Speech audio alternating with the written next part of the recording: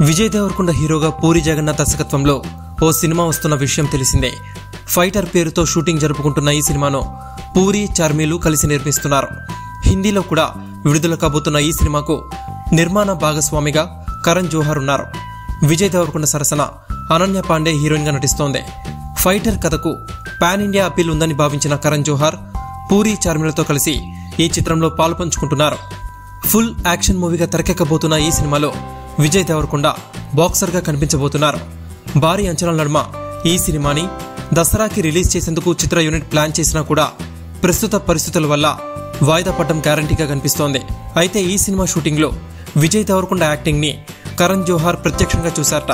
Vijay body language dialogue delivery కరణ్కు చేశాయట కెమెరాని పట్టించుకోకుండా విజయ్ చేసే సహజమైన నటనకి ఫిదా అయిన కరణ్ జోహార్ విజయ్ దేవరకొండతో హిందీ సినిమాలు నిర్మించాలనే నిర్ణయానికి వచ్చినట్టు సమాచారం.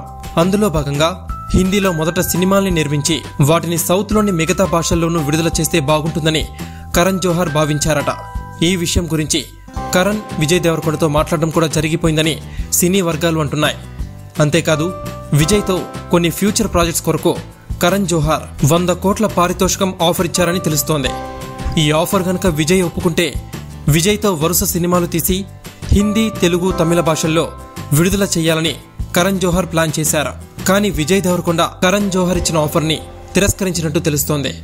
విజయ్ దేవరకొండ ప్రస్తుతం తన ఫోకస్ అంతా తెలుగు సినిమాలపైనే పెట్టాడని తను నటించిన సినిమాలు బాలీవుడ్లో కూడా రిలీజ్ అయితే ఓకే అంటున్న విజయ్ స్ట్రైట్ హిందీ సినిమా చేయడానికి మాత్రం ఎన్ని కోట్లు ఇచ్చినా నో అంటున్నాడు. ఇక భవిష్యత్తులో కరణ్ మళ్ళీ విజయ్కి ఎక్కువ పారితోషికం ఆఫర్ చేసినా కూడా విజయ్ ఒప్పుకునే అవకాశాలు కూడా తక్కువే. ఎందుకంటే ప్రస్తుతం కరణ్ జోహార్ సిచ్యువేషన్ ఏంటో అందరికీ తెలిసిందే. కరణ్ సినిమా ఎప్పుడెప్పుడు వస్తుందా? దాన్ని ఎప్పుడెప్పుడు బాయ్కాట్ చేద్దామా అని బాలీవుడ్ ప్రేక్షకులు వెయిట్ చేస్తున్నారు. సో ఇలాంటి టైంలో విజయ్ దేవరకొండ కరణ్తో కలిసి స్ట్రైట్ హిందీ సినిమా చేసి తన కెరీర్ రిస్క్లో పడేసుకోడు అని అందరూ అంటున్నారు. గతంలో కూడా డియర్ కామ్రేడ్ హిందీ రీమేక్లో విజయ్ని విజయ్ని నటించాలని కరణ్ కోరాడు. అయితే విజయ్ దాన్ని కూడా సున్నితంగా తిరస్కరించాడు.